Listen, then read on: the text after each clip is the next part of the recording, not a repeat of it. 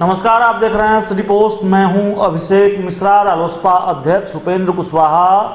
आज गोपालगंज पहुँचे थे और बैरिकेटिंग हटवाकर गोपालगंज की सीमा में उन्होंने प्रवेश किया। गोपालगंज बॉर्डर पर भी उनको रोकने की पूरी कोशिश हुई, लेकिन वो नहीं माने आगे बढ़े तो मीरगंज में उनको अधिकारियों ने रोका और अधिकारियों के साथ उपेंद्र कुशवाहा की तीखी नोकझोंक हुई है।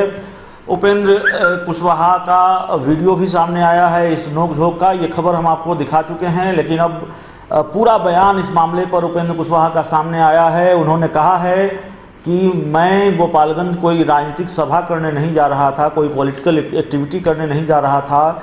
अब तो लॉकडाउन फाइव चल रहा है अनलॉक वन चल रहा है और कई चीज़ों की छूट मिली हुई है।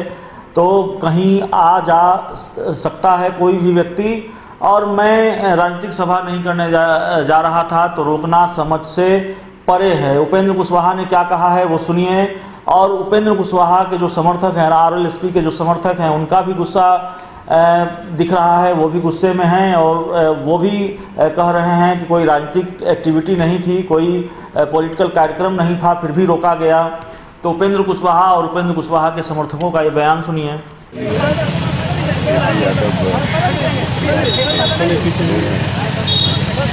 तो हॉस्पिटल में है पी एम सी एच वहाँ हमारी मुलाकात हुई लेकिन बाकी जो परिवार के लोग हैं, उनसे मिलने जाना है और थोड़े एक जगह जाना है।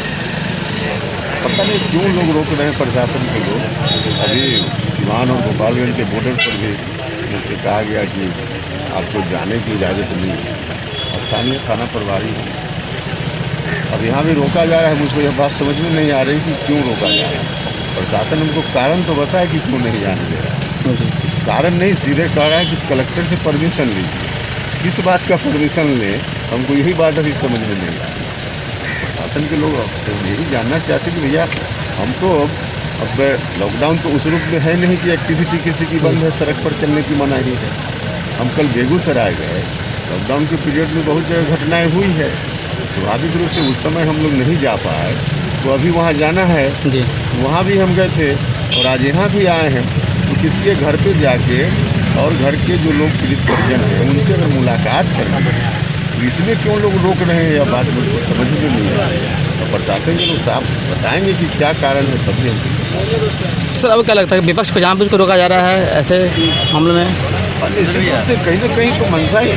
हमसे अब सरकार जिस रूप में चल रही है, भगवान मालिक है इस प्रदेश का अब इस तरह का रवैया होगा कि किसी की एक्टिविटी को आप रोक दें, कि कैसे जनतंत्र चलेगा, कैसे सोसाइटी चलेगा, देश, राज्य चलेगा। कुल मिला जुला बहुत ही तानाशाही है। अब व्यक्तिगत रूप से कोई एक्टिविटी करने पर मनाही हो जाए, ठीक है? लॉकडाउन का जो नॉर्म्स है उस नॉर्म के तहत कहीं अभी पॉलिटिकल एक्टिविटी नहीं करेंगे जी। तो हम कोई पॉलिटिकल सभा तो करने जा नहीं रहे हम तो मीटिंग कहीं करने जा नहीं रहे। जी। हम तो सिर्फ़ जा रहे हैं परिवार के लोगों से मिलने के लिए उनको सांत्वना देने के लिए। वैसी परिस्थिति में कहाँ कोई जो रूल्स है उसको हम हाईलाइट कर रहे हैं? उसके बावजूद रोक रहे हैं इसका मतलब है कि आवाज़ को दबाओ इसी तरह से कोई बोल ना पाए उनके खिलाफ। यही यही सर अब आगे क्या करेंगे? आपको रोका जा रहा है यहाँ पर। नहीं अभी तो हम कोशिश करेंगे कि जाएँ। जी। अभी हम कोशिश करेंगे कि जाएँ क्योंकि प्रशासन का कोई अधिकारी आकर हमको बताएँ कि क्या आदेश क्या है उनका किसका आदेश है?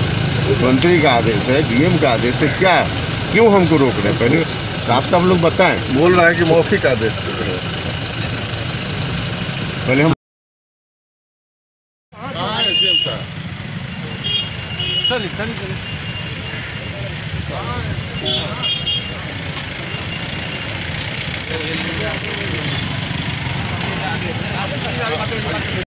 तो दरअसल गोपालगंज ट्रिपल मर्डर केस से ये मामला जुड़ा हुआ है। तेजस्वी यादव के बाद उपेंद्र कुशवाहा भी पीएमसीएच जाकर आरजेडी नेता जेपी यादव से मिले थे। मुलाकात के बाद ऐलान किया था कि मैं भी गोपालगंज जाऊँगा, मैं गोपालगंज जाऊँगा और वहाँ पीड़ितों के परिजन से मिलूँगा।